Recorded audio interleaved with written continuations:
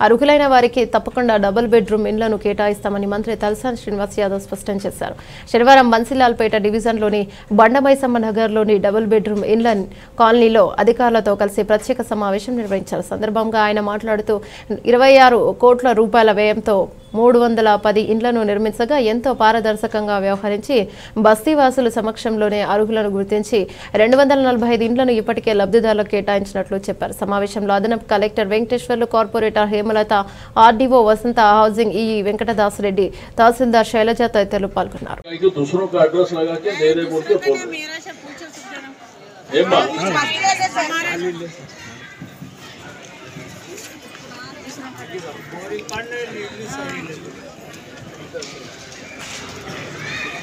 పేరు మీద రాసుకుంది. ఇట్లా మీరు ఇట్లా ఏది పడితే టిక్ చేయించారు అనుకో ఇల్లు మిగిలాలి కదా ఇక్కడ ఉన్న- నేనైనా కానీ ఇక్కడ ఉన్న వాళ్ళు కానీ ఉన్న ఇంట్లో వేస్తాం కదా. మరి లేని లేని తెచ్చేయలేము కదా.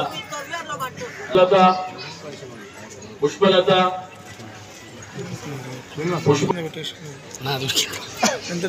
బయ్యన్ బేగం షాయన్ బేగం సారీ ఏం పేరమ్మా పుష్పలత శ్రీనివాస్ ఉంది సార్ బస్ ఆమెనే సార్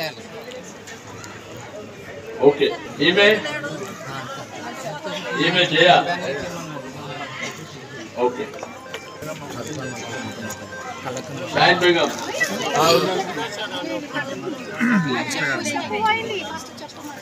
పద్మ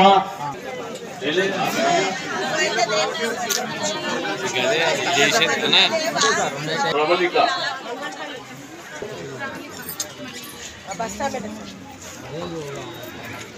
ఈయన కొట్టాను బయట బిడ్డను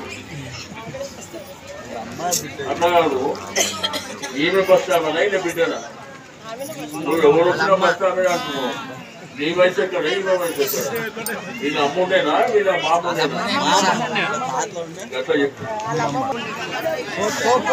రమణి అత్త మామ ఉన్నారా మరి వాళ్ళకి ఇల్లు ఇచ్చారా